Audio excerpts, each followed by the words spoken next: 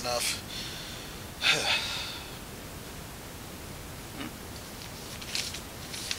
From Dad.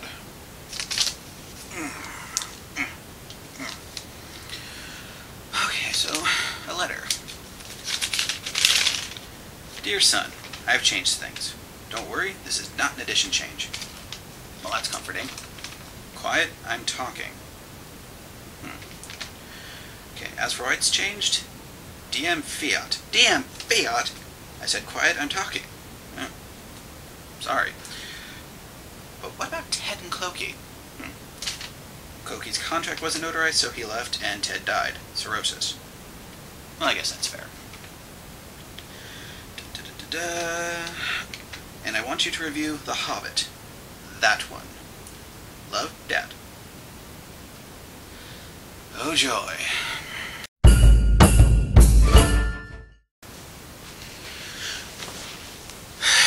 Let's do this. Hello, my lovelies, and welcome to the NPC Reviews, where today we'll be taking a look at The Hobbit. No, not the Rankin Bass adaptation, though that does have its own issues, such as noses like gourds and uh, elves that resemble gremlins more than anything else. Though they always mind the California Raisin Men for some reason. Hmm. Anyway, today we'll be taking a look at the 1966 animated film of The Hobbit, done by Gene Deitch of The movie starts off. This was Dale, the city of golden bells, in the time of Middle-earth, before men came to power and ruined magic forever. Suddenly, it was all destroyed by the monster lizard Slag the Terrible. Slag, the agent of evil on Earth. They changed Dale from a river merchant town into a golden kingdom, and Smaug to Slag. Normally this would be the point where I put in a changes counter, but considering everything else in this story, an overload would be inevitable, so I just don't have the insurance for it. Keep rolling. Only three survived the flames. A watchman who slept when the dragon came creeping. You survived because you're lazy? Thorin Oakenshield, general of the now destroyed garrison of Dale, and Princess Mika Milovana, who sadly watched the crumbling ashes of the once golden realm. So it has come to pass, said the great wizard, that Dale has been destroyed by Slag, and that he nests on the treasure in the carved halls under Lonely Mountain, just as it is written in the great book. Then it is clear that the time has come. The time of the Hobbit. And they're bringing in a forced prophecy to get the story rolling. My thoughts on that later. At least the Hobbit hole is fairly accurate. So they barge in, start eating Bilbo's food, and start talking about dragons and prophecies. Naturally, Bilbo says no, but The princess was furious and impatient with all this talk. Mr. Baggins, she shouted, that dragon has killed my father and all of my people. He has burned to ashes my golden land of Dale. Aw, boo-hoo-hoo. If you are all afraid, then I shall go alone. Bilbo was shocked. He shouted at Gandalf, But this is crazy. She's only a child. You can't let her face this journey, that dragon, alone. Correct. The great wizard agreed. I'm glad you see it at last, dear Bilbo. this is the evil smile that says, You just got played. So they leave, Gandalf wishing them a fond farewell. Bye, suckers. This part I do take umbrage at. They've taken Gandalf the Grey and relegated him to minor character and quest giver status. One of the five wizards I am a servant of the secret fire, wielder of the flame of Anor. The guy that says he's a burglar because I say he's a burglar has been written out of the story. I might have known. So next they come across some Groans, hungry brutes with skin as thick as bark.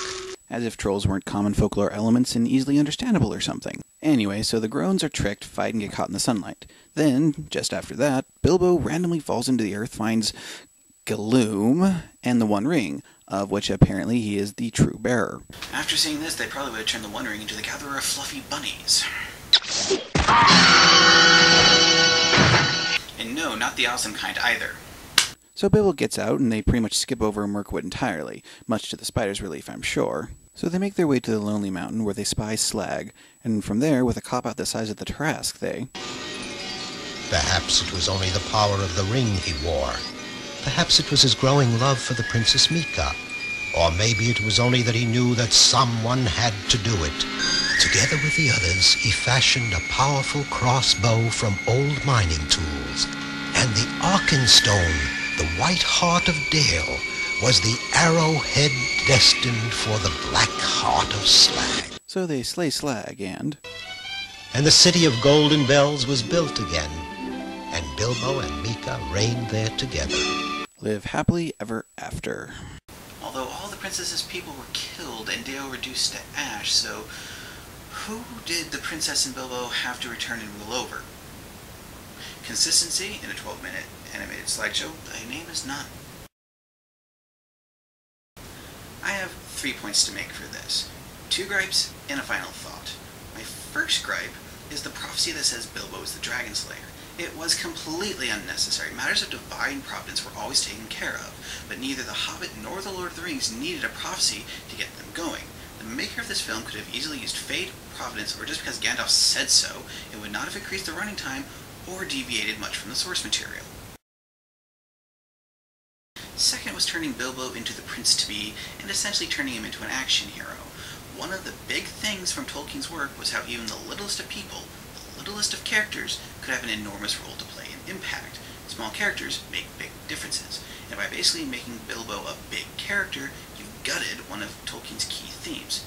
Now, in Deitch's defense, he has gone on to say that if he had the chance to do it again, he would be more respectful of the source material, so kudos there. Point and final thought is that despite everything this version cut out, changed, and ignored, I cannot be angry at this piece.